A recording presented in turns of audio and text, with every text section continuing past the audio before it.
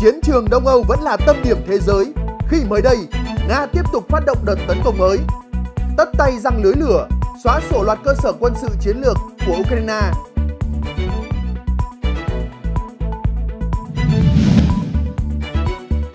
Được nước lấn tới, Nga tiếp tục khai hỏa, giáng đòn cực mạnh, phá hủy máy bay chiến đấu F-16 Ukraine, hạ sĩ quan NATO.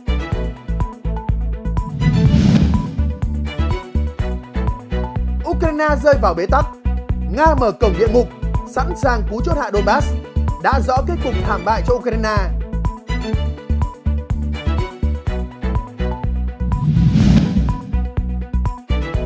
Giữa lúc căng thẳng, Na Uy học theo ý tưởng của Phần Lan, xây hàng rào biên giới với Nga. Động thái được cho là lấy ý tưởng từ dự án tương tự nước láng giềng Bắc Âu, Phần Lan.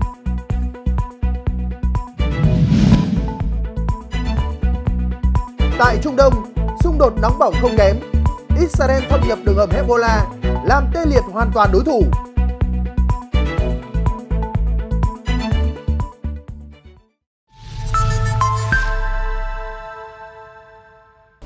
Xin kính chào quý vị đang theo dõi chương trình trên kênh youtube chính thức của báo điện tử VTC News. Vừa rồi là những nội dung chính trong bản tin về chính trường thế giới được chúng tôi liên tục cập nhật. Sau đây là nội dung chi tiết.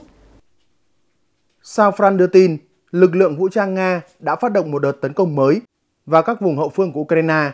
Theo các nguồn tin giám sát của Kiev, tháng 9 là tháng duy nhất mà các UAV của Moscow xâm nhập không phận Ukraine mỗi ngày kể từ khi kế hoạch quân sự bắt đầu được triển khai.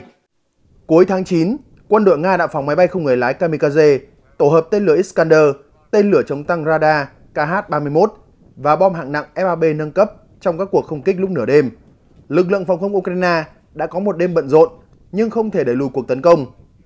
Những vụ nổ dữ dội đã xảy ra ở các vùng Odessa, Mykolaiv, Dnipropetrovsk, Zhytomyr, Kharkov, Sumy, Vinnytsia, Zaporizhia, Cherkasky, thủ đô Kiev và các khu vực lân cận đã bị tấn công dữ dội.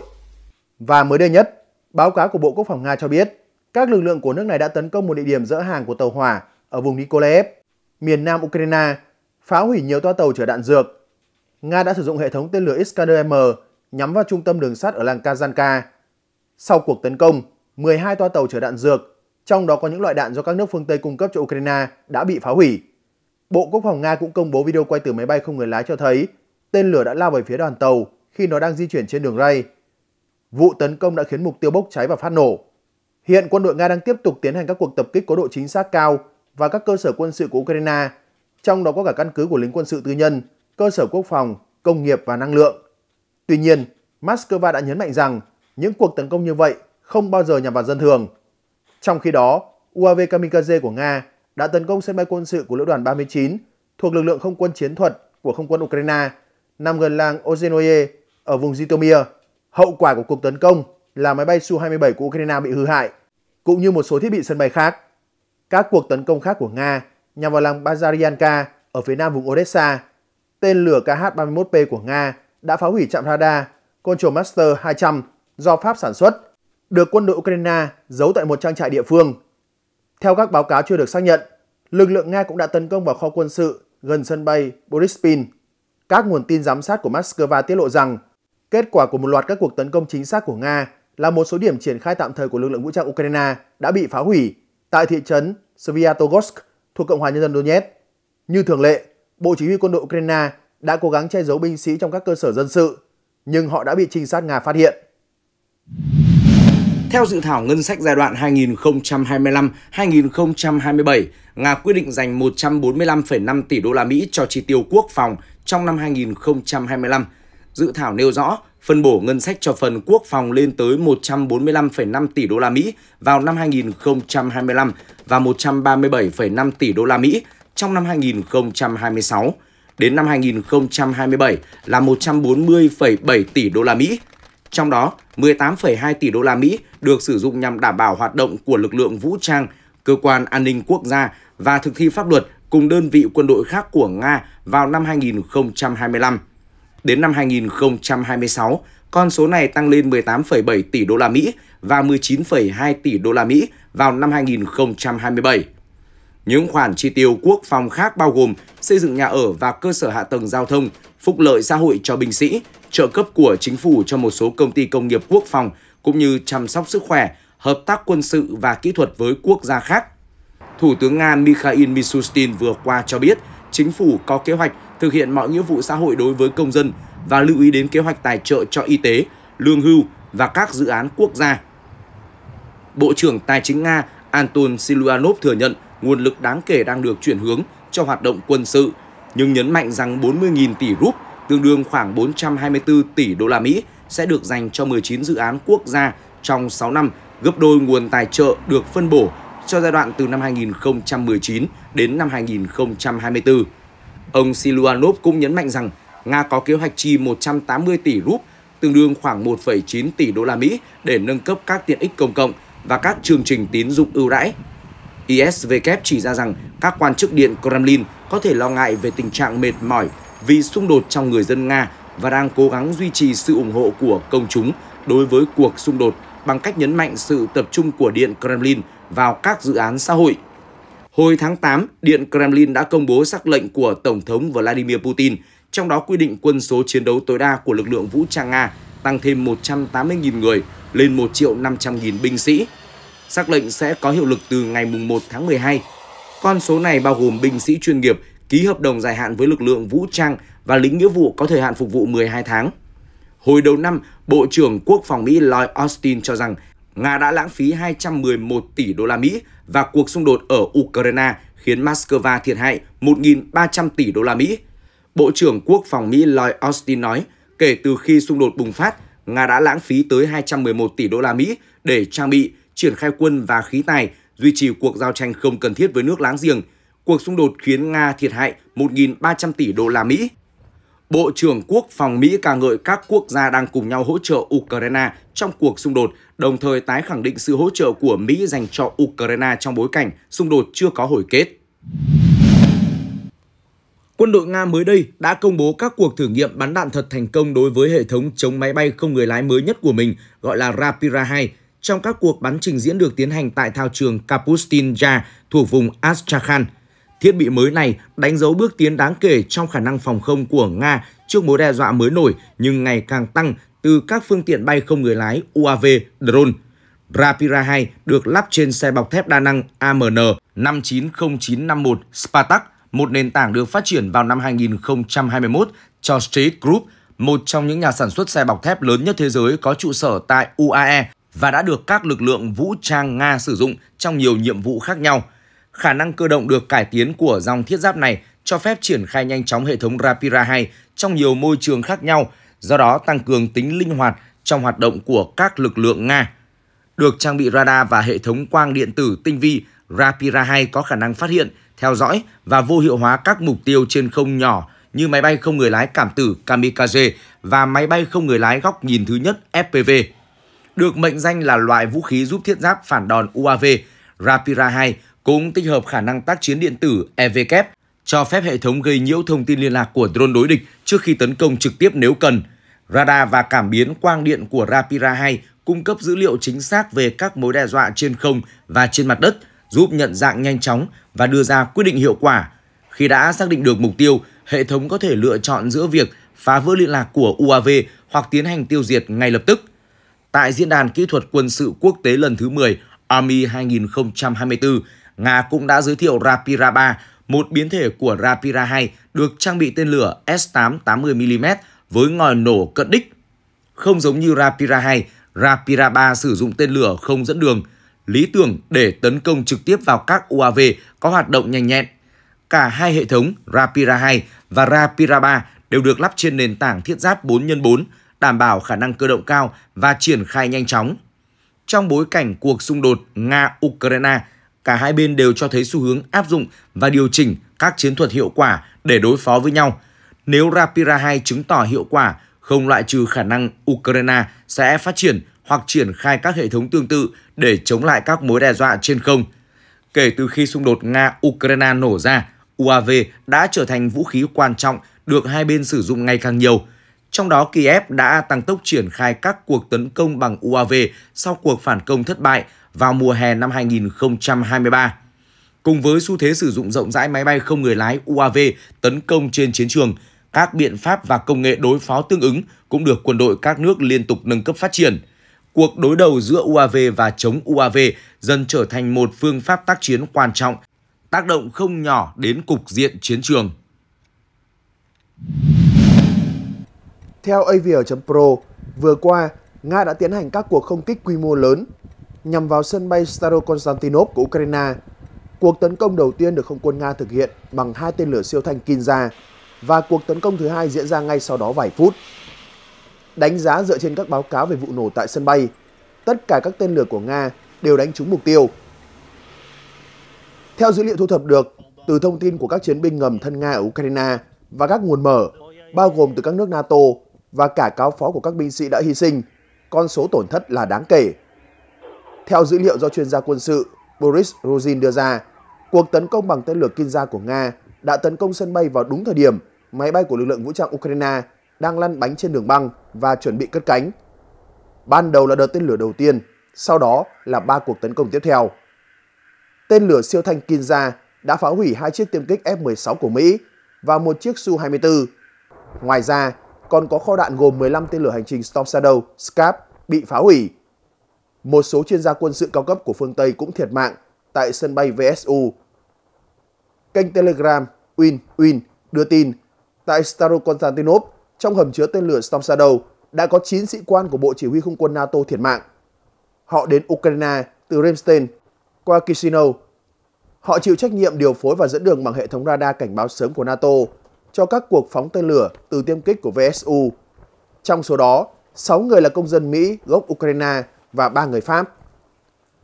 Nếu dựa trên các con số từ các nguồn công khai, Đan Mạch đã kịp chuyển giao cho Ukraine 6 tiêm kích F-16 Fighting Falcon, nhưng trong thời gian gần đây đã có 3 máy bay bị phá hủy, gồm hai chiếc hiện tại và một chiếc trước đó bị cháy cùng với phi công Ukraine. Điều này có nghĩa là một nửa số máy bay Mỹ mà Kiev nhận được đã không còn. Căn cứ không quân Starokonstantinov là một trong những địa điểm chiến lược quan trọng đối với không quân Ukraine, đóng vai trò chủ chốt trong các hoạt động tấn công đường không. Đáng chú ý, căn cứ này được cho là nơi đồn trú của các máy bay chiến đấu F-16 do phương Tây cung cấp cho Ukraine. Ngoài ra, căn cứ này cũng là nơi cất cánh của máy bay Su-24, được trang bị tên lửa hành trình tầm xa Storm Shadow và Scap Eagle. Cho đến nay, vẫn chưa có xác nhận chính thức của phía Ukraine về việc máy bay chiến đấu F-16 có thực sự bị phá hủy hay không. Nhưng điều không thể phủ nhận rằng quân đội Nga đang có những hành động tích cực, trực tiếp thực hiện các cuộc không kích tầm xa nhằm vào nhiều mục tiêu trọng điểm ở phía tây Ukraine. Các cuộc không kích này không chỉ thể hiện khả năng không kích mạnh mẽ của quân đội Nga, mà còn cho thấy mục tiêu rõ ràng của họ là cắt đứt tuyến cung cấp vũ khí cho Ukraine.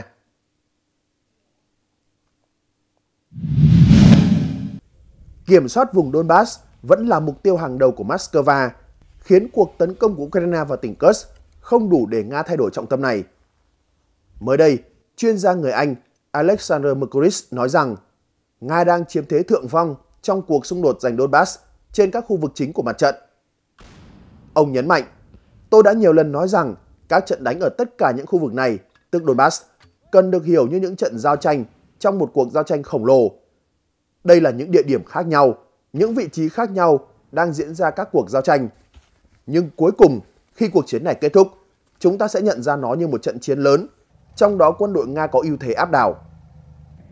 Ông giải thích rằng hệ thống phòng thủ của lực lượng vũ trang Ukraine thực tế đã sụp đổ và lực lượng phòng không đã không còn hoạt động. Ông Mercuris kết luận, Ukraine đang chảy máu và bằng cách nào đó, phương Tây hiện nay nhận thức được rằng Ukraine đang thua và họ cũng hiểu rằng phương Tây thực sự không thể làm gì để đảo ngược tình hình. Cũng theo chuyên gia quân sự Yuri Podoliaka, kịch bản lực lượng Ukraine thất bại trên toàn bộ mặt trận ở phía nam Donbass ngày càng lộ rõ, nhưng Kiev không có cơ hội ngăn chặn đà tiến công của quân đội Nga. Gần đây nhất, Bộ Quốc phòng Nga đã thông báo quân đội nước này đã giành quyền kiểm soát làng Makivka ở Lugansk, vùng Donbass. Suốt nhiều tháng qua, lực lượng Nga đã liên tục tiến quân qua Donbass, giành quyền kiểm soát nhiều địa điểm. Trong khi quân đội Ukraine đang vật lộn để ngăn chặn làn sóng tấn công như vũ bão, quân đội Nga hiện tiếp tục tiến gần hơn đến trung tâm hậu cần trọng yếu Pokrovsk ở vùng Donetsk. Chuyển sang những vấn đề nóng đang diễn ra trên thế giới, chúng tôi xin được tiếp tục gửi đến quý vị những cập nhật mới nhất sau đây. Abkhazia là vùng lãnh thổ nằm ở Tây Bắc Georgia, quốc gia từng thuộc Liên Xô tại khu vực Caucasus. Abkhazia và Nam Ossetia sau đó đòi ly khai, khiến xung đột vũ trang giữa Georgia và hai khu vực này bùng nổ vào năm 2008. Nga mở chiến dịch can thiệp quân sự vào Georgia từ ngày 8 tháng 8 năm 2008 và kết thúc sau 5 ngày giao tranh. Georgia chịu thiệt hại nặng nề lực lượng và cơ sở hạ tầng quốc phòng, buộc phải rút quân khỏi Abkhazia và Nam Ossetia. Nga công nhận nền độc lập của Abkhazia và Nam Ossetia và duy trì hiện diện quân sự tại hai khu vực, khẳng định đây là hành động phù hợp với nguyện vọng của người dân địa phương. Ngoại trưởng Nga Sergei Lavrov vừa qua ám chỉ rằng nước này có thể đàm phán để rút quân khỏi Abkhazia và Nam Ossetia. Ông Lavrov cũng khẳng định Nga sẵn sàng giúp đỡ cho việc giúp Georgia hòa giải với Abkhazia và Nam Ossetia. Ông cho biết giới lãnh đạo Georgia hiện nay chỉ đơn giản là đang đánh giá một cách trung thực về quá khứ. Họ nói muốn hòa giải những gì đã xảy ra trong quá khứ và dưới hình thức nào mà hoạt động hòa giải này có thể diễn ra là do chính Abkhazia và Nam Ossetia quyết định. Nhà ngoại giao Nga nhấn mạnh, nếu tất cả các bên đều quan tâm đến việc bình thường hóa các mối quan hệ này, đảm bảo các thỏa thuận không tấn công nhau, chúng tôi sẽ sẵn sàng giúp đỡ nếu các bên quan tâm. Chính phủ Georgia coi Abkhazia và Nam Ossetia là lãnh thổ của nước này.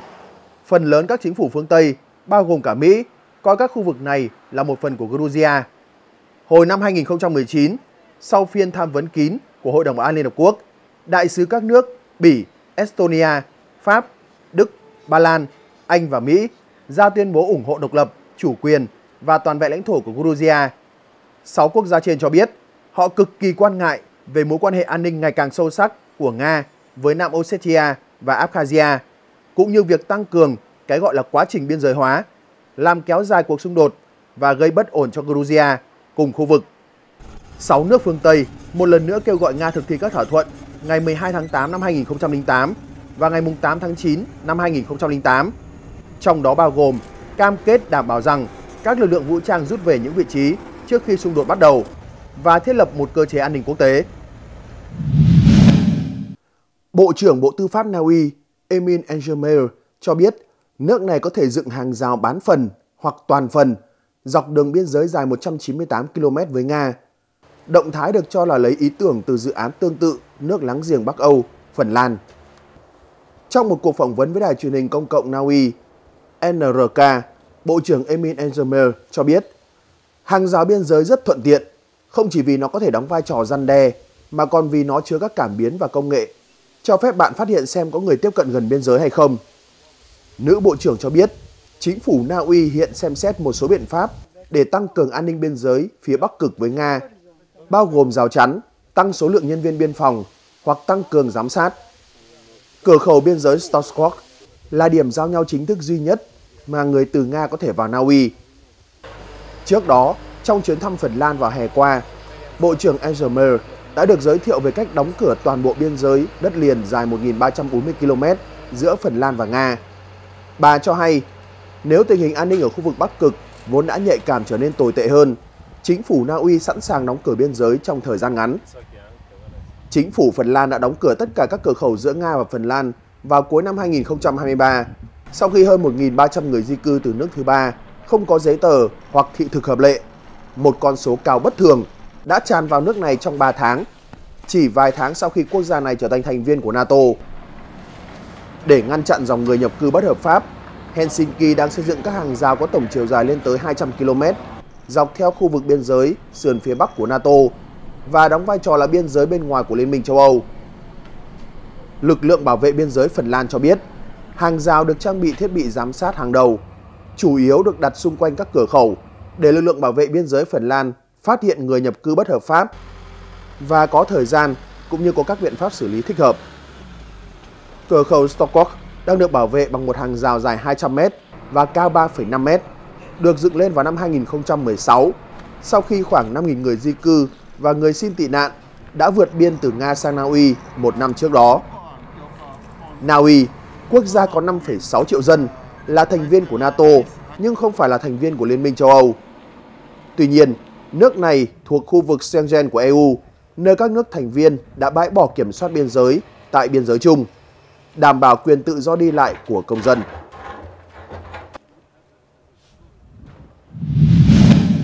Cựu Thủ tướng Hà Lan Mark Rutte sẽ đảm nhận vị trí Tổng thư ký mới của Tổ chức Hiệp ước Bắc Đại Tây Dương NATO vào ngày 1 tháng 10, tại thời điểm liên minh quân sự này đối diện hàng loạt thách thức lớn. Cuộc xung đột ở Ukraine vốn đã kéo dài sang năm thứ ba. Mỹ sắp bầu cử Tổng thống và sự vươn lên của các thế lực cạnh tranh sẽ là những thách thức lớn cho tân Tổng thư ký. Bốn tuần sau khi ông Rutte đảm nhận vị trí Tổng thư ký NATO, người dân Mỹ sẽ đi bỏ phiếu bầu Tổng thống. Khả năng cựu Tổng thống Mỹ Donald Trump tái đắc cử là điều có thể xảy ra.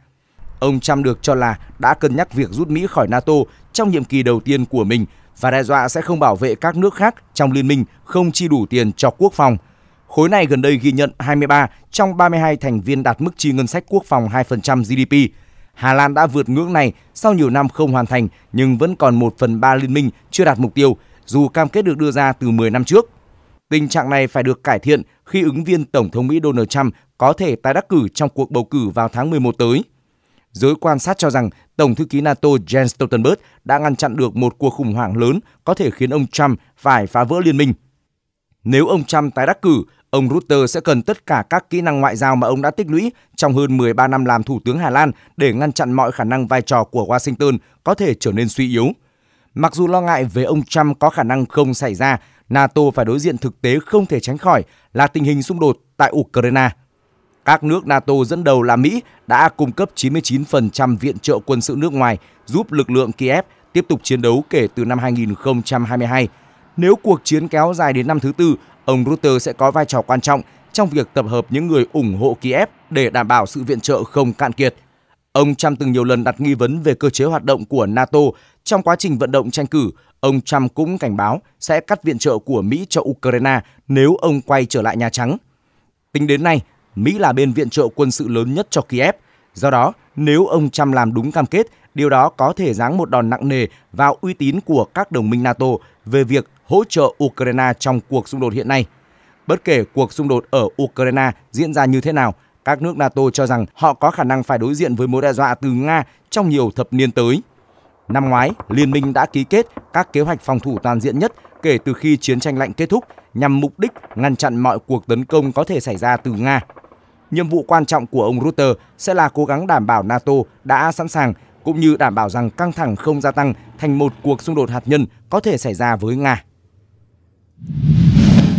Trước thềm cuộc tranh luận duy nhất giữa thống đốc Tim Walz, Đảng Dân Chủ bang Minnesota và Thượng nghị sĩ J.D. Vance, Đảng Cộng hòa bang Ohio vào ngày 1 tháng 10, dư luận Mỹ có dấu hiệu quan tâm hơn đến cuộc tranh luận giữa hai ứng cử viên phó tổng thống Mỹ so với các kỳ bầu cử gần đây. Nhiều trang báo và tạp chí Mỹ như New York Times, Washington Post, Fox News và Politico đồng loạt đăng các bài phân tích về tương quan vị thế của hai ứng cử viên cũng như về tác động của cuộc tranh luận đối với cục diện cuộc đua vào Nhà Trắng. Các cuộc thăm dò dư luận tổ chức ngay trước phiên tranh luận của AP, NORC, New York Times, Đại học Siena cho thấy Thống đốc Walz được lòng cử tri hơn so với Thượng nghị sĩ Vance với tỷ lệ tín nhiệm lần lượt là 40% và 25%. Đáng chú ý, ông Walz có uy tín cao hơn ông Vance đối với cả cử tri nữ giới và nam giới. Đây là tín hiệu tích cực đối với phe Dân Chủ, vì trong số hai ứng cử viên Tổng thống, ông Donald Trump được xem là có lợi thế hơn trong việc huy động lá phiếu từ cử tri nam giới nói chung. Các bài viết cho rằng Thống đốc Walz sẽ tìm cách khắc sâu thêm hình ảnh vụng về, kỳ quặc của Thượng nghị sĩ Vance trong con mắt của cử tri trẻ tuổi, đồng thời tập trung khai thác những phát ngôn bài Trump của ông Vance trong quá khứ để làm nổi bật mâu thuẫn trong nội bộ phe Cộng hòa. Trong khi đó, ông Vance sẽ xoáy vào lập trường chính sách cực tả của cá nhân ông Vance và liên danh Harris Vance nói chung. Cả ông Vance lẫn ông Vance sẽ cùng nỗ lực bù đắp những khiếm khuyết của ứng viên liên danh của mình. Ông Vance sẽ đề cập đến những bước đi chính sách thực chất, trong khi ông Vance sẽ cung cấp những lập luận có logic. Ông Walz được đánh giá là có cửa thắng cao hơn ông Vance trong cuộc tranh luận sắp tới do sức cuốn hút tự nhiên cũng như kinh nghiệm dày dạn trên chính trường. Tuy nhiên, các bài viết cũng cảnh báo không hề coi thường ông Vance vì ông là con người sắc sảo, thông minh, có những tiến bộ vượt bậc về khả năng hùng biện chỉ trong hai năm qua và có biệt tài lý giải những phát ngôn hoàn toàn vô nghĩa của ông Trump theo cách mà cử tri có thể hiểu được phần nào. Nhiều bài viết nhận định cách biệt giữa hai phe Harris Walz và Trump Vance đang xít sao đến mức cuộc tranh luận giữa hai ứng cử viên phó tổng thống, một sự kiện vốn được coi là món ăn kèm, cũng có thể gây tác động đột biến đối với cục diện cuộc đua vào Nhà Trắng. Ngoài ra, trong bối cảnh cựu Tổng thống Trump từ chối tranh luận lần hai với Phó Tổng thống Harris, cuộc tranh luận ngày 1 tháng 10 nhiều khả năng sẽ là lần tương tác cuối cùng của hai chiến dịch tranh cử trước sự chứng kiến của cử tri cả nước Mỹ. Chiến dịch tranh cử Tổng thống Mỹ của ứng cử viên Đảng Dân Chủ Kamala Harris đã huy động được 55 triệu đô la Mỹ trong hai sự kiện gây quỹ vào cuối tuần qua. Theo đó, phát biểu với báo giới mới đây, một quan chức giấu tên trong chiến dịch tranh cử của bà Harris cho biết bà đã vận động được 27 triệu đô la Mỹ tại sự kiện gây quỹ ở Cung điện Mỹ thuật ở San Francisco. Tại sự kiện này, cựu Chủ tịch Hạ viện Nancy Pelosi đã có bài phát biểu kêu gọi cử tri ủng hộ Phó Tổng thống Harris trong cuộc bầu cử sắp tới. Sự kiện cũng có sự tham gia của nữ ca sĩ Andrade. Sau đó bà Harris đã gây quỹ thêm được 28 triệu đô la Mỹ tại sự kiện ở trung tâm thành phố Los Angeles. Tham gia biểu diễn tại sự kiện có các ca sĩ Alanis Morissette và Harold Bailey. Cũng có mặt tại sự kiện này là các nghệ sĩ nổi tiếng gồm Keegan Michael Sterling K. Brown, Demi Lovato, Jessica Alba, Lily Tomlin và Stevie Wonder. Tại các sự kiện, Phó Tổng thống Harris đã tập trung nêu bật các chính sách kinh tế của mình. Chiến dịch tranh cử Tổng thống của bà Harris và Đảng Dân Chủ đã huy động được 361 triệu đô la Mỹ vào tháng 8, mang lại cho bà lợi thế tiền mặt rõ ràng so với đối thủ Donald Trump của Đảng Cộng Hòa. Cùng tháng này, ông Trump huy động được 130 triệu đô la Mỹ. Với khoản ngân sách nhỉnh hơn đối thủ, bà Harris có thể thực hiện thêm các chương trình vận động mạnh mẽ hơn, đặc biệt ở các bang chiến địa. Tuy nhiên, lịch sử đã chứng minh không phải là ứng cử viên nào có nhiều ngân sách tranh cử hơn sẽ chắc chắn giành chiến thắng. Trước đó, Phó Tổng thống Mỹ Kamala Harris đã huy động được 27 triệu đô la Mỹ trong buổi gây quỹ ở New York. Đây là số tiền lớn nhất mà bà Harris vận động được tại một sự kiện gây quỹ kể từ khi đại diện Đảng Dân Chủ tham gia chiến dịch tranh cử Tổng thống. Cuộc bầu cử năm nay đang ở vào giai đoạn quyết liệt khi chỉ còn khoảng một thời gian ngắn nữa là đến ngày bỏ phiếu và bà Harris được cho là đang có được lợi thế kể từ khi trở thành ứng cử viên chính thức của Đảng Dân Chủ ra tranh cử Tổng thống Mỹ. Các cuộc thăm dò mới nhất được hãng tin NBC và CBS thực hiện cho thấy bà Harris đang có dấu hiệu bứt phá so với ông Donald Trump khi dẫn trước cựu Tổng thống Mỹ trong các cuộc thăm dò dư luận này. Liên quan đến diễn biến xung đột ở Trung Đông, chúng tôi xin được gửi đến quý vị những cập nhật mới nhất tiếp theo sau đây. Trong tuyên bố vừa qua của Hamas, nhóm này đã nêu rõ về sự thiệt mạng của ông Fatah Sarif Abu al-Amine, người đứng đầu lực lượng Hamas tại Liban và là thành viên của ban chỉ huy lực lượng ở nước ngoài. Cụ thể, ông Sarif đã qua đời trong một cuộc không kích của Israel vào khu trại tị nạn Anbas ở miền nam Liban. Vợ và hai con của người này cũng thiệt mạng. Đáng chú ý, Liên Hợp Quốc cũng đã lên tiếng về cái chết của ông Fatah Sarif và khẳng định ông này làm việc cho cơ quan của Liên Hợp Quốc vì người tị nạn Palestine UNRWA. Tuy nhiên, ông Sarif không công khai về mối quan hệ của mình với lực lượng vũ trang của người Palestine. Trong khi đó, phái đoàn ngoại giao của Israel tại Geneva lên tiếng và phản ánh về chất lượng tuyển dụng của UNRWA qua trường hợp của ông Sarif. Cụ thể, phía Tel Aviv khẳng định cố chỉ huy Hamas còn là hiệu trưởng, người đứng đầu Hiệp hội Giáo viên UNRWA ở Liban. Lý giải vấn đề trên, người phát ngôn của UNRWA, ông Jonathan Fowler, cho biết ông Sarif là một nhân viên UNRWA đã nghỉ không lương từ tháng 3 để chờ điều tra về những cáo buộc mà cơ quan này nhận được về việc ông tham gia hoạt động chính trị. Thế nhưng Liên đoàn Giáo viên UNRWA và các nhóm Palestine khác lại kịch liệt phản đối quyết định trên khi có hành động định kỳ tổ chức biểu tình trước văn phòng cơ quan Liên Hợp Quốc ở Beirut từ khi ông Sarif bị đình chỉ. Cáo buộc cơ quan này nhắm vào quan điểm chính trị của ông. Đầu tháng này, Liên đoàn giáo viên kể trên tiếp tục tổ chức một cuộc biểu tình ngồi khi Tổng ủy viên UNRWA Philip Lazzarini thăm Liban để đòi khôi phục công việc cho ông Sarif. Về phía Hamas, nhóm này đã ca ngợi những đóng góp của ông Sarif vì sự nghiệp giáo dục và thánh chiến và gọi cố chỉ huy tại Liban là người giáo viên thành công và một hiệu trưởng xuất sắc đối với nhiều thế hệ người tị nạn Palestine. Cũng liên quan đến vụ không kích của Israel vào quận Kola, thủ đô Beirut của Liban, Mặt trận Nhân dân Giải phóng Palestine PFLP cho biết ngoài ông Sarif, hai thành viên khác của Hamas cũng đã thiệt mạng. Trước đó ít lâu, Israel cũng đã tổ chức không kích vào khu vực phía nam Beirut và được cho là đã khiến thủ lĩnh của Hezbollah, ông Hassan Nasrallah thiệt mạng. Gần đây, Israel đang tăng cường tấn công vào sâu trong lãnh thổ Liban với mục tiêu làm tê liệt các hoạt động của những nhóm tổ chức mà Tel Aviv cho là khủng bố thân Iran cộng đồng quốc tế đã tiếp tục lên tiếng bày tỏ lo ngại về một cuộc xung đột toàn diện có thể bùng nổ tại Trung Đông và yêu cầu các bên liên quan kiềm chế cũng như nhanh chóng kết thúc bạo lực. Tờ Wall Street Journal vừa qua dẫn lời các nguồn thạo tin cho biết các đặc nhiệm Israel đã tiến hành xâm nhập vào các đường hầm do Hezbollah đào gần biên giới trong các cuộc đột kích quy mô nhỏ vào miền nam Liban thời gian gần đây. Các nhiệm vụ này được thực hiện gần đây và trong cả vài tháng qua. Chúng nhằm thu thập thông tin tình báo về các vị trí của Hezbollah gần biên giới, cũng như xác định những đường hầm và hạ tầng quân sự của lực lượng này để chuẩn bị cho các cuộc tấn công từ trên không hoặc trên bộ. Chuyên gia về giao tranh dưới hầm ngầm Tanberry ước tính mạng lưới địa đạo của Hezbollah có tổng chiều dài lên tới hàng trăm km. Nhóm từng đào đường hầm trực tiếp vào Israel nhưng đã bị IDF phát hiện và phá hủy trong chiến dịch lá chắn phương Bắc hồi tháng 1 năm 2019.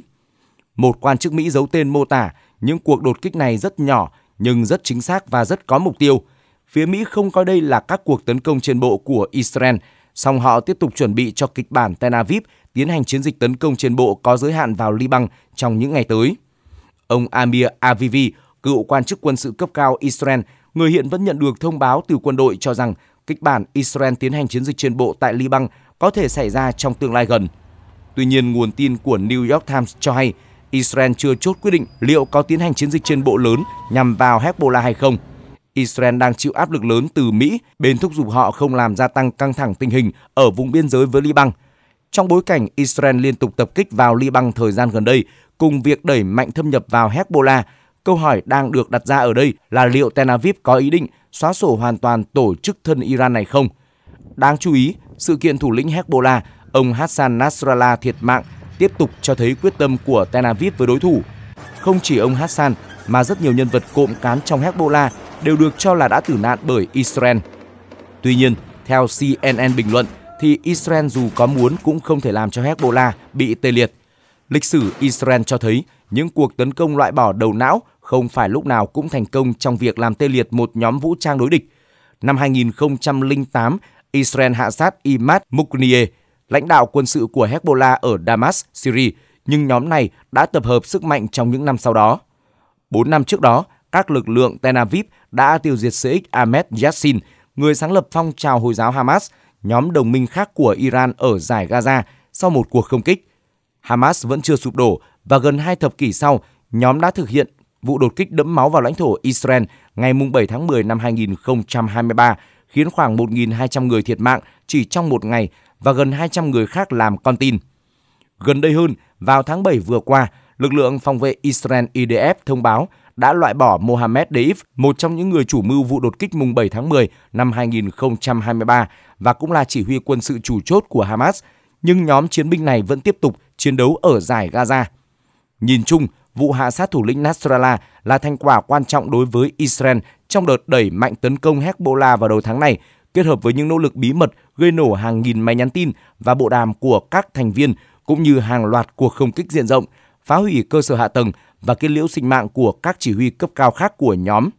Tuy nhiên, nhiều nhà phân tích lưu ý hiện vẫn còn quá sớm để Israel có thể xóa sổ được Hezbollah, dù nhóm vũ trang ở Liban này rõ ràng đang trong tình trạng khủng hoảng. Lịch sử cho thấy nhóm sẽ tái tổ chức và bổ nhiệm các lãnh đạo mới để tiếp tục cuộc chiến lâu dài chống Israel. AFP dẫn hai nguồn tin cho hay ba quả rocket đã phóng nhắm vào một căn cứ có binh sĩ Mỹ đóng trú ở sân bay quốc tế Baghdad tại Iraq.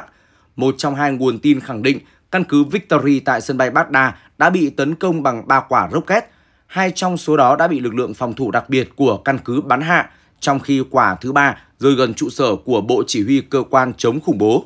Căn cứ Victory là nơi đặt tổng hành dinh của lực lượng Mỹ tại Iraq, cũng là địa điểm chủ chốt trong tổ hợp căn cứ Victory VBC gồm nhiều cơ sở quân sự được Washington bố trí quanh sân bay quốc tế Baghdad. Reuters dẫn lời hai nguồn tin an ninh nói rằng quả rocket lọt qua lưới phòng không đã rơi trúng khu vực do quân đội Iraq quản lý, làm hư hại công trình và phương tiện nhưng không ảnh hưởng đến hoạt động hàng không tại sân bay. Giới chức Iraq sau đó cho biết vụ tập kích không gây ra thương vong. Đại sứ quán Mỹ tại Iraq chưa bình luận về vụ tấn công. Cách đây ít hôm, Mỹ đã công bố việc đạt được thỏa thuận với chính phủ Iraq để kết thúc nhiệm vụ quân sự của liên minh chống khủng bố do Mỹ dẫn đầu ở Iraq. Theo đó, Mỹ sẽ rút quân khỏi một số căn cứ ở Iraq mà họ đã hiện diện suốt hai thập kỷ qua.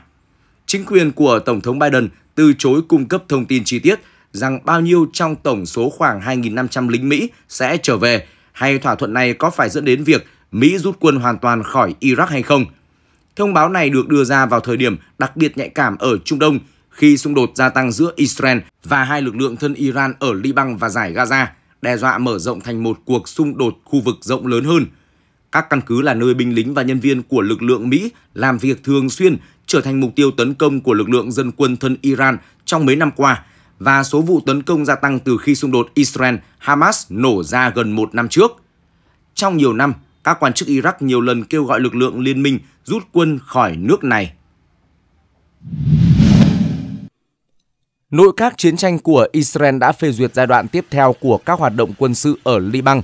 Tờ Telegraph đưa tin, một tuyên bố đầy đủ từ lực lượng phòng vệ Israel IDF mới đây nêu rõ, theo quyết định của giới chính trị, vài giờ trước, IDF đã bắt đầu một chiến dịch trên bộ có mục tiêu và ranh giới rõ ràng ở miền nam Liban nhằm vào các mục tiêu và cơ sở hạ tầng của Hezbollah tại một số ngôi làng gần biên giới, nơi gây ra mối đe dọa trực tiếp và thực sự đối với các khu định cư của Israel ở biên giới phía Bắc.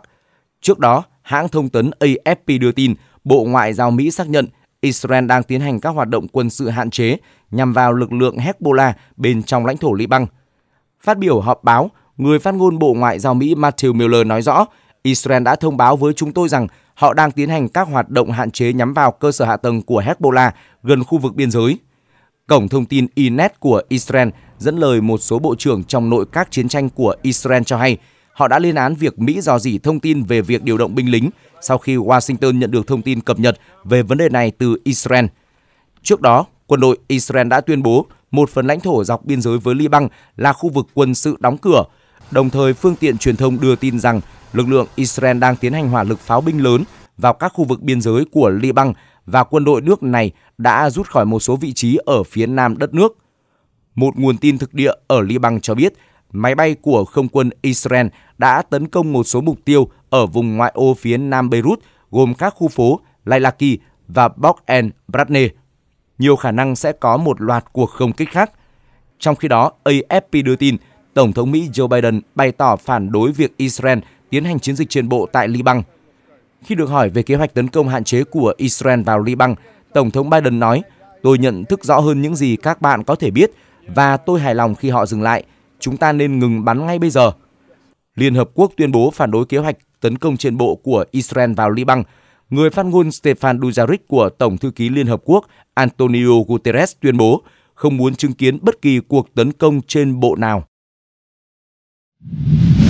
Vừa qua, Thủ tướng Israel Benjamin Netanyahu đã bổ nhiệm ông Gideon Shah, từng là đối thủ cũ, làm thành viên nội các trong chính phủ của mình.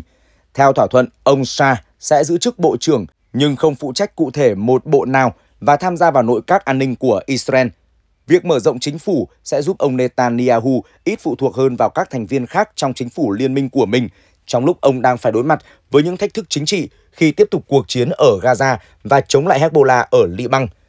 Ông Sa sinh năm 1966 tại Tel Aviv, có bằng thạc sĩ khoa học chính trị, lần đầu trúng cử vào Quốc hội Israel năm 2003 với tư cách thành viên đảng Likud. Ông từng đảm nhiệm vị trí Bộ trưởng Bộ Giáo dục và Bộ trưởng Nội vụ. Tháng 9 năm 2017, tờ Jerusalem Post xếp ông ở vị trí thứ 5 trong danh sách 50 người Do Thái có ảnh hưởng nhất. Mối quan hệ giữa ông Sa và Thủ tướng Netanyahu đã trải qua nhiều căng thẳng. Ông từng là nhân vật được chú ý trong đảng Likud nhưng đã rời khỏi đảng này cách đây 4 năm do mâu thuẫn sâu sắc với Thủ tướng Netanyahu. Mặc dù vậy, ông Shah và Thủ tướng Netanyahu vẫn có điểm chung khi đều chia sẻ quan điểm cứng rắn với các nước Ả Rập được xem là đối thủ của Israel tại Trung Đông. Ông Shah và Thủ tướng Netanyahu thông báo họ sẽ gạt bỏ những dạn nứt trong quá khứ sang một bên.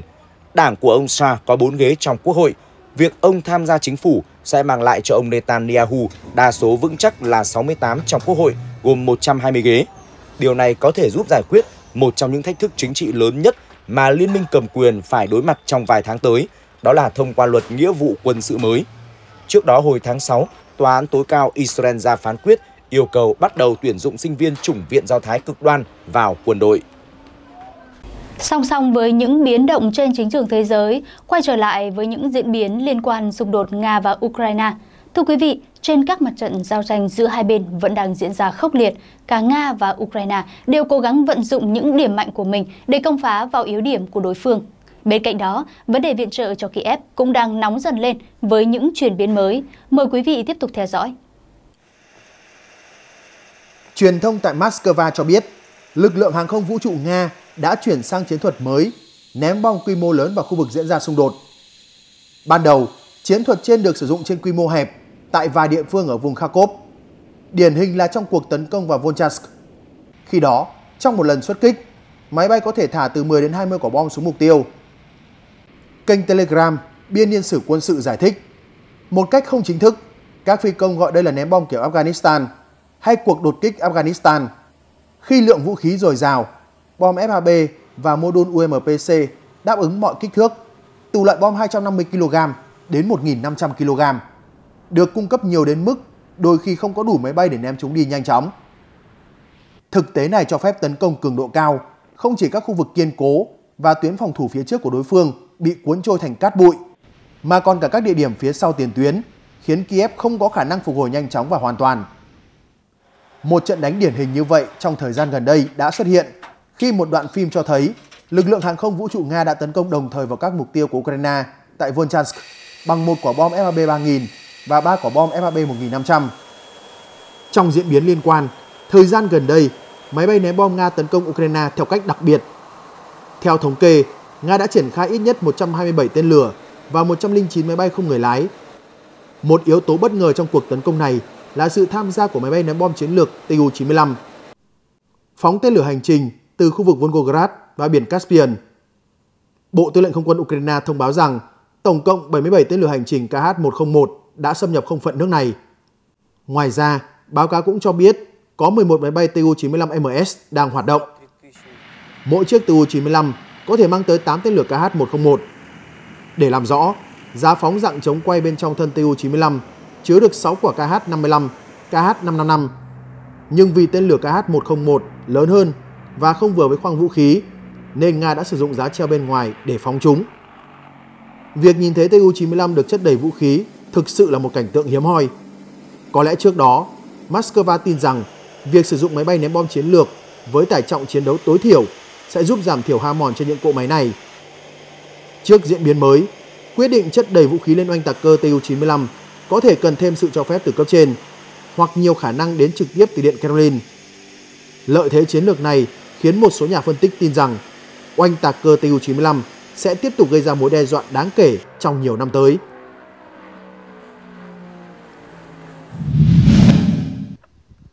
Theo Force, một lực lượng của Nga, có thể là thuộc lữ đoàn Piatnaska, đã phản công ở khu vực Kursk mà Ukraine đang kiểm soát và mắc kẹt trong chính những cây bẫy chống tăng do mình tạo ra trước đó. Cuộc tấn công nhắm vào làng Plekhovo ở rìa phía nam của khu vực này đã không thành công theo một cách ít ai ngờ tới. Theo Force, đội hình của Nga đã mắc kẹt trong những cái bẫy chống tăng gồm một chiến hào và một hàng các chướng ngại vật bê tông mà Nga đã xây dựng trước khi Ukraine đột kích vào Kursk hồi đầu tháng 8. Có hai cấu trúc phòng thủ chính mà Nga xây dựng bên ngoài Plekhovo, đó là các bẫy chống tăng và một tổ hợp chiến hào bộ binh gần đó. Lực lượng Nga đã chật vật để vượt qua các bẫy chống tăng này khi lữ đoàn phòng thủ mặt đất 129 của Ukraine tiến hành một đợt tấn công UAV. Theo một số thông tin, lực lượng phòng thủ của Nga bên ngoài Plekhovo là một vài trung đội và ít nhất một đại đội, tổng cộng có thể là vài trăm binh lính. Tuy nhiên, quân đội Nga ở Kursk đã mất cảnh giác trước cuộc tấn công bất ngờ của Ukraine ngày 6 tháng 8 và không thể sử dụng hỏa lực đáng kể của mình để đối phó trước lực lượng của Ukraine đang di chuyển nhanh chóng nhằm tấn công họ. Sau khi Ukraine kiểm soát được một số vùng lãnh thổ ở Kursk, lực lượng của nước này đã tận dụng các bẫy chống tăng và chiến hào bộ binh thu giữ được của Nga. Lữ đoàn phòng thủ lãnh thổ 129 đã chuẩn bị sẵn sàng cho một cuộc phản công của Nga và tận dụng lợi thế của hệ thống phòng thủ được chuẩn bị tốt này. Các kỹ sư Nga xây dựng hệ thống phòng thủ bên ngoài Plekhovo cho biết đây là hệ thống có thể làm chậm cuộc tấn công của đối phương đủ lâu để lực lượng phòng thủ địa phương triển khai hỏa lực tốt nhất của họ. Tuy nhiên, các binh sĩ Nga lại mắc phải những cái bẫy chống tăng do chính đồng đội của mình thiết kế và xây dựng này. Trong diễn biến liên quan, mặc dù lực lượng Nga đã tiến hành phản công vào khu vực Nhoza mà quân đội Ukraine đang kiểm soát, nhưng không đạt được thành công đáng kể nào. Họ đã chiếm lại một số khu định cư, nhưng quân đội Ukraine đã cố gắng bẫy một số đơn vị của Nga bằng một cuộc phản công quy mô nhỏ. Nga vẫn chưa có một nỗ lực lớn nào nhằm đẩy lùi lực lượng Ukraine tại Kursk. Với tỷ lệ thương vong cao liên tục và những khó khăn trong việc tuyển quân, quân đội Nga sẽ gặp khó khăn khi tiến hành một chiến dịch quy mô lớn ở tỉnh Kursk và đồng thời phải duy trì các hoạt động tấn công ở Donbass, xung quanh Pokrovsk và Vuleda. Theo các chuyên gia của National Interest, lời giải cho bài toán này là Moscow sẽ mở rộng nỗ lực tuyển dụng. Tuy nhiên, quân đội Nga đang phải đối mặt với phản ứng dữ dội từ Điện Kremlin. Viện Nghiên cứu Chiến tranh ISVK nêu rõ, Tổng thống Nga Vladimir Putin được cho là đã từ chối yêu cầu của Bộ Quốc phòng về việc bù đắp tổn thất của Nga bằng cách tiến hành một đợt động viên khác vào mùa xuân năm 2024. Tổng thống Nga Vladimir Putin là một nhà lãnh đạo rất quan tâm đến nguyện vọng của người dân Nga. Phương Tây đánh giá ông là một chính trị gia thông minh và rất được lòng dân chúng. Chính vì vậy mà mọi quyết định của ông đều được cân nhắc rất kỹ lưỡng. Hãng thông tấn TASS vừa qua dẫn thông tin từ Bộ Quốc phòng Nga cho biết một chi nhánh đoàn trực thăng Mi-28NM được mệnh danh sát thủ bóng đêm của Nga đã tổ chức tấn công và loại bỏ nhân lực cũng như xe bọc thép của lực lượng Ukraine tại khu vực biên giới vùng Kursk.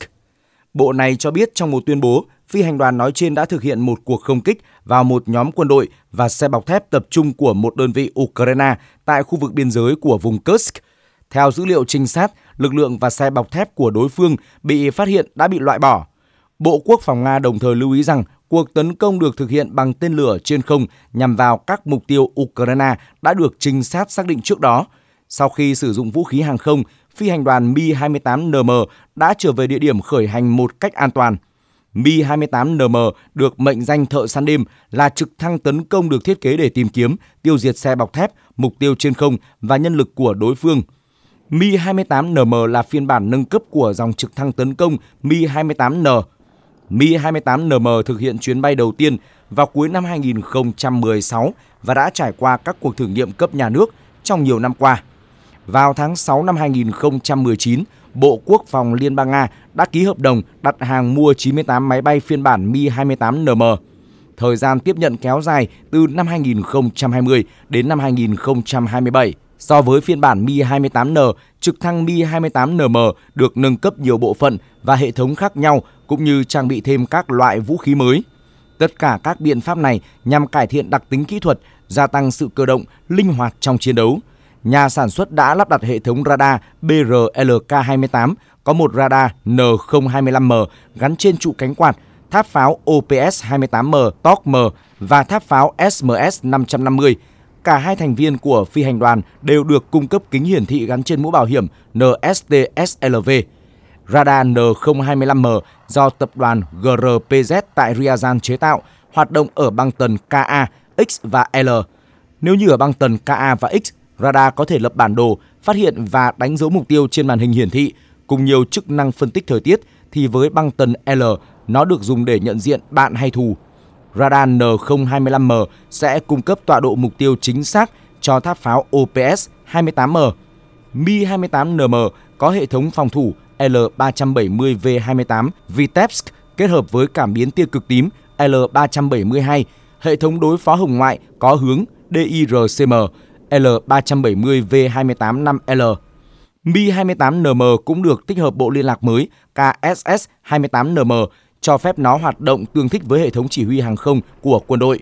Trực thăng tấn công hạng nặng Mi-28NM có thể mang theo nhiều loại vũ khí, trong đó có tên lửa đa năng thế hệ mới và nhiều loại bom khác nhau.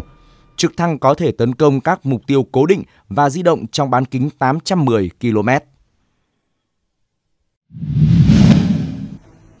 Theo Defense Express, vừa qua, máy bay không người lái tầm xa có thể đã tấn công căn cứ không quân Milerovo của Nga nằm cách tiền tuyến khoảng 200 km.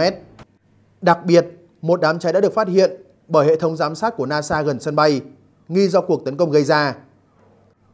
Liên quan đến vụ tấn công được cho là vào căn cứ không quân Milerovo, kênh Telegram Astra thân Nga đưa tin hơn 20 máy bay không người lái đã tấn công căn cứ này, nhưng tất cả đều bị bắn hạ. Không có thông tin về thiệt hại và thương vong. Trong khi đó, Bộ Quốc phòng Nga cho biết 18 máy bay không người lái đã bị bắn hạ trên vùng Rostov. 13 trong số chúng đã bị phá hủy ở quận Milerovsky. Thống đốc vùng Rostov, ông Vasily Golubev báo cáo một vụ cháy rừng lớn đã bùng phát ở quận Miliutinsky thuộc vùng Rostov sau khi một máy bay không người lái bị rơi. đám cháy đã lan rộng đến ít nhất 20 hecta. Mil.in.ua nhận định, căn cứ Milerovo là nơi đóng quân của Trung đoàn Hàng không tiêm kích cận vệ số 31 của Nga. Đơn vị được trang bị nhiều chiến đấu cơ Su-30 SM.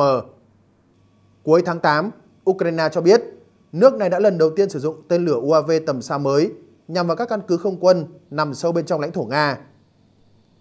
Tổng thống Ukraine Volodymyr Zelensky thời điểm đó chia sẻ trên X, trước đây là Twitter, đoạn video trong đó nêu chi tiết về tên lửa UAV có tên Palianitsia.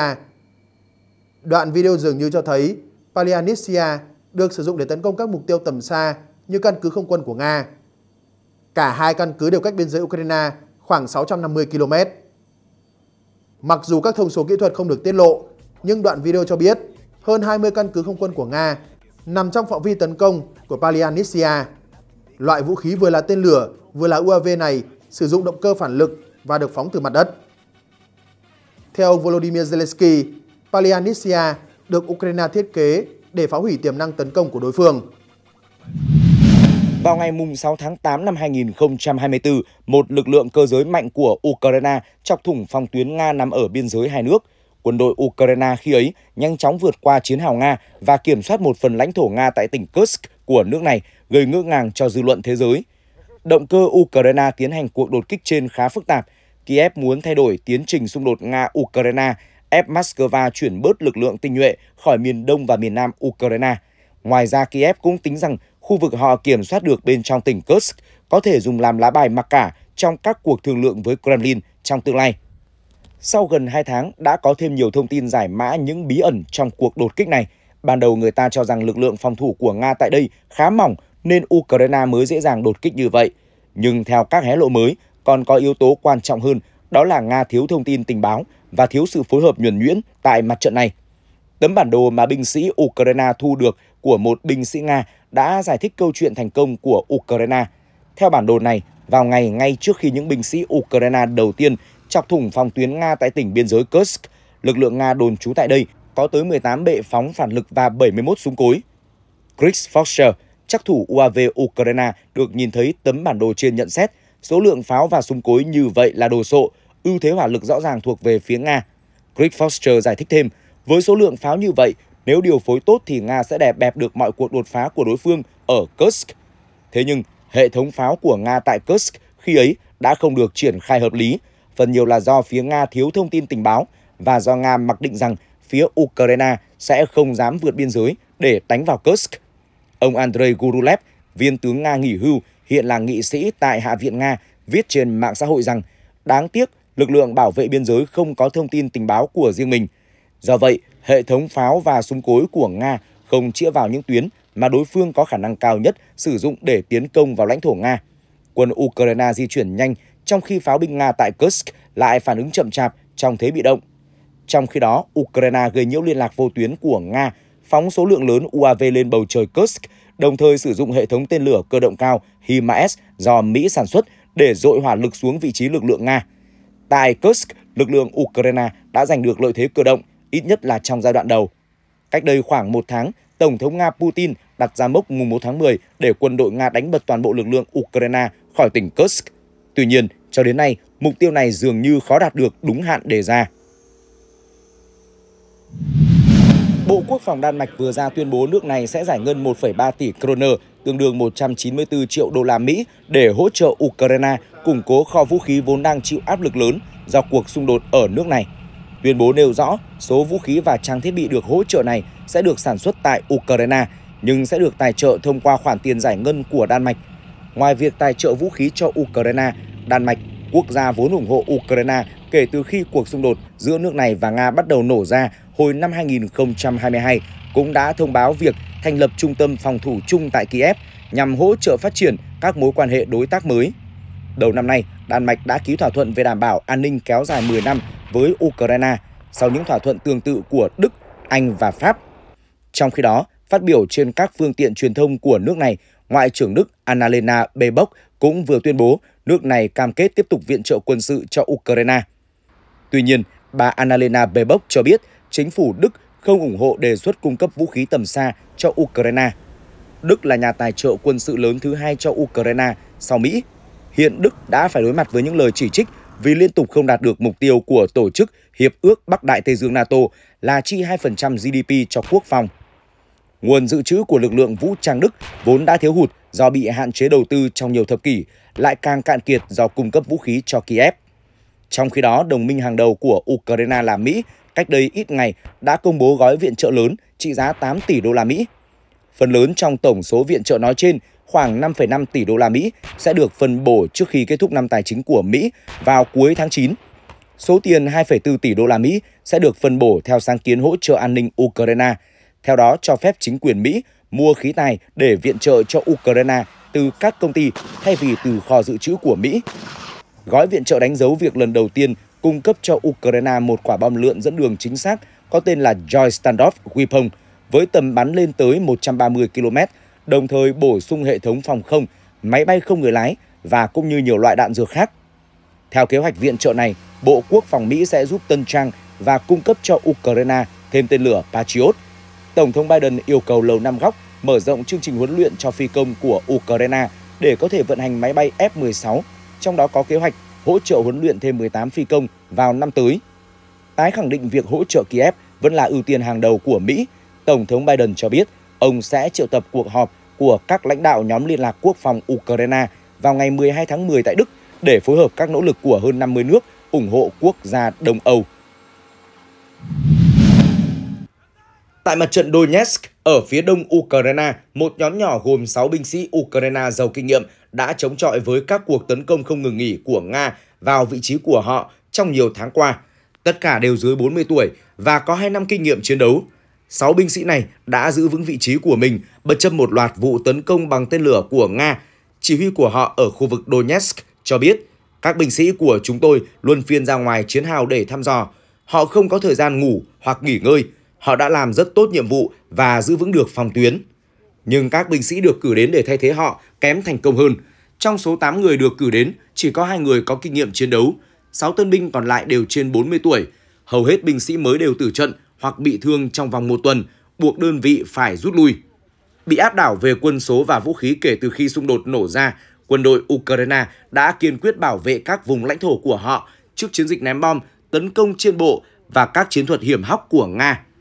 Ukraine cho biết họ đã gây ra tổn thất lớn cho quân đội Nga trong năm nay và chứng minh rằng họ vẫn có khả năng nắm bắt thế chủ động khi xâm nhập tỉnh Kursk của Nga. Bất chấp bước tiến này, quân đội Ukraine và các chỉ huy của họ đang ngày càng lo ngại vấn đề về nhân lực, đặc biệt là chất lượng tân binh cũng như tỷ lệ binh sĩ bị thương hoặc tử trận trong chiến đấu. Theo các chỉ huy tiền tuyến của Kiev, bộ binh Ukraine bị ảnh hưởng nặng nề nhất. Các đơn vị bộ binh đang rơi vào tình trạng kiệt sức và sa sút tinh thần. Một số đơn vị phải từ bỏ vị trí và để Nga kiểm soát thêm đất. Một phó chỉ huy trong lữ đoàn cơ giới số 72 của Ukraine đang chiến đấu gần thành phố Vuleda ở phía đông cho biết, khi những người mới đến vị trí, rất nhiều người trong số họ bỏ chạy khi nghe tiếng nổ đầu tiên của quả đạn pháo.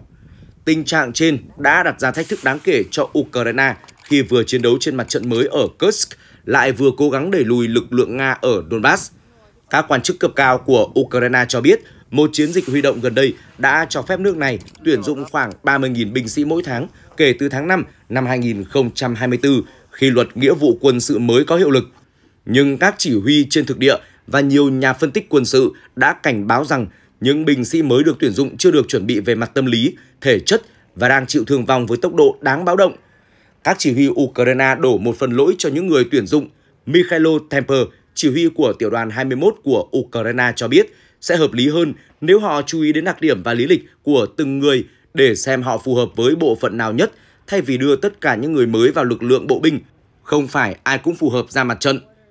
Các chỉ huy Ukraine đều cho rằng hầu hết các tân binh đều chưa trải qua quá trình đào tạo đầy đủ, một phần do bản thân những người huấn luyện không có kinh nghiệm chiến đấu thực tế nên họ không thể chỉ dạy cách chiến đấu cần thiết cũng như cách sống sót trong giao tranh. Ngoài ra, các tân binh hiếm có cơ hội thực hành bắn đạn thật hoặc chưa thành thạo cách cầm súng do thiếu súng đạn. Tổng tư lệnh các lực lượng vũ trang Ukraine, tướng Oleksandr Sisky thông báo ông đã yêu cầu cải thiện chất lượng đào tạo cho tân binh bằng cách lựa chọn những người hướng dẫn có quyết tâm và kinh nghiệm chiến đấu, đồng thời nêu khả năng thành lập một trường đào tạo. Quân đội Ukraine tuyên bố lực lượng biên phòng đã ngăn chặn và phá hủy các xe bọc thép của Nga. tiến công gần làng Pishchane thuộc vùng Kharkov, đông bắc đất nước. Theo lữ đoàn Polstar thuộc Cục Biên phòng Nhà nước Ukraine, cuộc truy đuổi các xe bọc thép của Nga do đại đội máy bay không người lái UAV tấn công thực hiện. Nhiều loại UAV khác nhau đã được điều động. Trong đoạn video do nhà chức trách Ukraine đăng tải, các UAV hạng nặng của họ đang quần liệng phía trên những phương tiện bọc thép bị hư hại của đối phương và thả bom công phá. Trang tin quân sự Militani cho hay, chiến thuật này đã giúp quân Kiev phá hủy ít nhất 3 xe chiến đấu bộ binh và một xe tăng T-72B3M có trang bị hệ thống ramin mìn bánh xích KMT-6 của Moscow. Các nhà phân tích thuộc dự án Deep State, kênh thông tin quân sự có quan hệ chặt chẽ với quân đội Ukraine lưu ý, binh lính Nga từ làng Pischane đang cố gắng di chuyển về phía đường Borova, Kupiansk, tuyến hậu cần chính trong khu vực. Các lực lượng Kiev đang nỗ lực ngăn chặn đà tiến của đối phương ở hướng này. Cách đây vài tháng, theo tờ Business Insider, trong đoạn video do một tiểu đoàn thuộc lữ đoàn tấn công IDOS của Ukraine công bố, UAV Ukraine cũng đã nhắm mục tiêu tấn công vào các phương tiện quân sự được bảo vệ nghiêm ngặt của Nga. Trong video, UAV Ukraine đã tiếp cận một xe chiến đấu bọc thép của Nga với phần trên được gia cố bảo vệ bằng chiếc lồng. UAV đã bay lùi lại trước khi lao vào tấn công phương tiện của Nga. Đoạn video còn cho thấy ba phương tiện đang bốc cháy trên chiến trường. Quân đội Nga và Ukraine đều sử dụng lồng bảo vệ là những khung hoặc màn chắn tạm thời nhằm hạn chế tác động từ đòn tấn công bằng tên lửa của đối phương. Song theo các chuyên gia, những phiên bản lồng bảo vệ đầu tiên phần lớn không có tác dụng khi chúng đối mặt với tên lửa chống tăng Javelin và NLAVK. Phía quân đội Nga cách đây ít ngày cũng tuyên bố đã phá hủy hai xe chiến đấu bộ binh và hai xe bọc thép chở quân của Ukraine ở tỉnh Kursk bằng máy bay không người lái. Bộ Quốc phòng Nga đã công bố một đoạn video cho thấy hình ảnh máy bay không người lái FPV của nước này phá hủy một số xe chiến đấu của Ukraine ở tỉnh biên giới Kursk thuộc Liên bang Nga.